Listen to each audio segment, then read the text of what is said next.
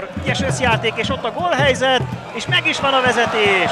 Kajzát Péter a gólszerző, rögtön a találkozó elején, a negyedik percben megvan a nyíregyházi vezetés, egy formás nyíregyházi támadás végén.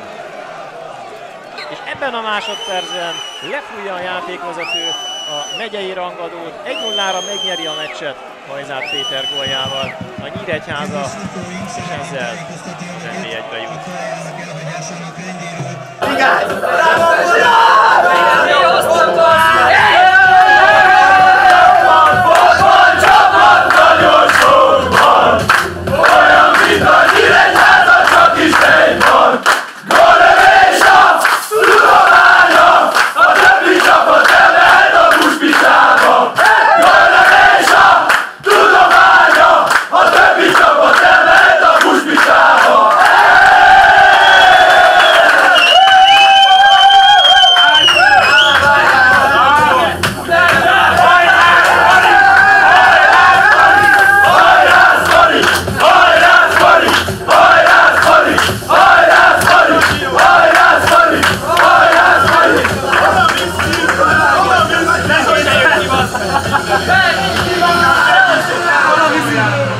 Tamás, gratulálok, majd szétveti az öltözőt a hangulat, és hát te is belekortyoltál a pesgőbe, holott abszolút nem szoktál alkoholt inni. Gondolom ez most édes volt ez a pesgő. Igen, már hetek óta erre készülünk, hogy én nekem az asztal tetején pesgőt kell innom. Ugye abstinens révén ez elég nehéz volt, ráadásul le is fröcsköltek, de azt gondolom, hogy ez a legkevesebb.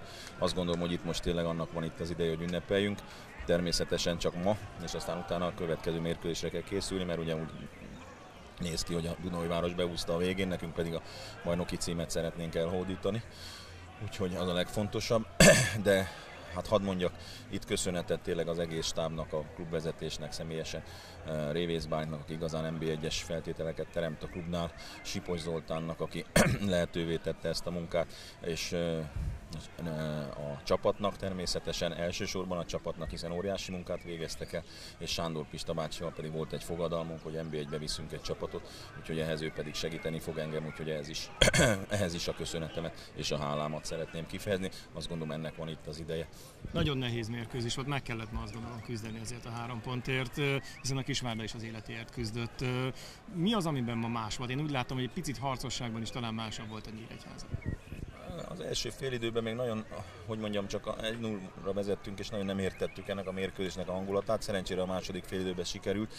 Ezek a mérkőzések abszolút egyértelműen ilyenek, és azt gondolom, hogy a világlabdarúgásában is ilyenek, amikor az egyik csapat az életért küzd, a másiknak pedig természetesen a bajnoki címé. Ezek a mérkőzések így mennek, ilyenkor, ilyenkor a lehető legtöbbet ki kell adni a magából a csapatnak.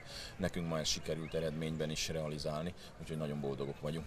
Nagyon sokszor kérdeztem tőled az idény közben, hogy milyen a hangulat az öltözőben, mennyire feszültek már a játékosok, hogy nem jön össze a győzelem, illetve hát most ugye Gödörben is volt a csapat. Azt gondolom, hogy ami most az öltözőben látszott, illetve ahogy körtáncot jártak a játékosok, ez mindenre választ adott, hogy mekkora feszültség szabadult fel belőlük. Hát így van, ezt most aki látta, az, az tapasztalta ezeket a mérkőzéseket, ugye már hetek óta nem e, tudtuk behúzni, de hozzá kell tegyem, hogy a feszültség csak abból alakult ki, hogy ugye más se húzta be, és akkor még azt néztük, hogy mi az, ami, amin elcsúsztunk, pedig, e, pedig hát ugye, ugye ez csak egy utólagos eredményfelmérés. Én azt gondolom, hogy, hogy óriási dolognak tartom, hogy egy ilyen mérkőzésen e, ezen feszültség ellenére a csapat meg tudta szerezni a három pontot. Ugye a bajnoki cím most már a tét, hazai pályán ez is meg lehet.